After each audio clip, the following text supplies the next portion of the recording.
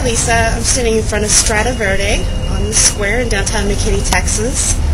I own the uh, Happy Trails carriage service here, and I can take you through the fantastic historical district by Chestnut Square. Especially this time of year, we have a lot of ghost activity, and I can clue you in on the stories and possibly even maybe see a thing or two out here. So I welcome you to our beautiful town and hope you enjoy. If you'd like to book a ride with us at Happy Trails, go to happytrailscarriage.com and you can ride with myself and Buttermilk and Trigger at any time. It's www.happytrailscarriage.com. And now tell me this one of the scariest things you've ever experienced while you've had riders with you and Buttermilk and Trigger. I know there's been many, so just pick one. Probably have to say the, the experience on Hurd Street the other evening where I stopped to take a picture of a home where I felt activity and my horses absolutely refused to stand still in the street. They started jackknifing and turning and we got a lot of activity on both sets of digital cameras and the EVP recording was going. And what did you get on the EVP recording? We got a very distinct female voice saying, get out.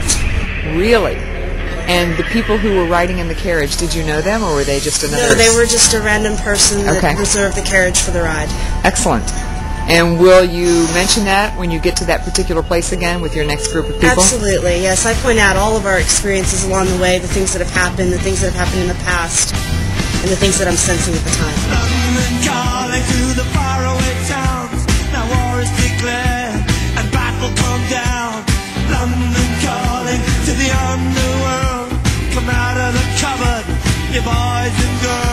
It's Lisa Taylor in the safety of broad daylight here in historic downtown McKinney, right outside the Londoner Pub.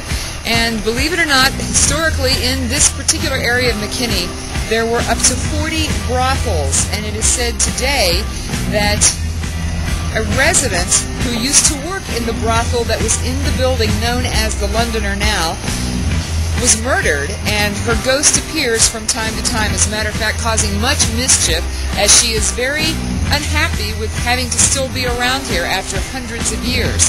And there are sightings of chairs flying across the room, upstairs, right into the jukebox. Also, doors slamming on the ladies' room. Uh, ladies getting their hair pulled in the ladies' room here at the Londoner. So I've come in the safety of daylight to check it out, and uh, we'll go in and see what we can find going upstairs to the second floor, part of the restaurant here. Hi, what's your name? I'm Justin. Huh? Justin. Tell me one of the craziest things that's happened here at the Londoner. Um, as in like paranormal. Yeah. Uh, well, we close up around midnight every night, and the busboys will put the chairs on the tables, Okay. and they open the next morning. And every time they, a lot of times when they come in in the morning, the chairs are scattered weird and awkwardly around the bar. They get down off the tables on their own somehow? Somehow,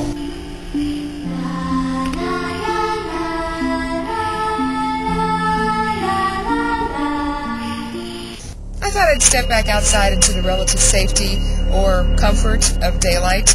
Outside the Londoner and historic, not haunted, McKinney, Texas. I'm Lisa Taylor.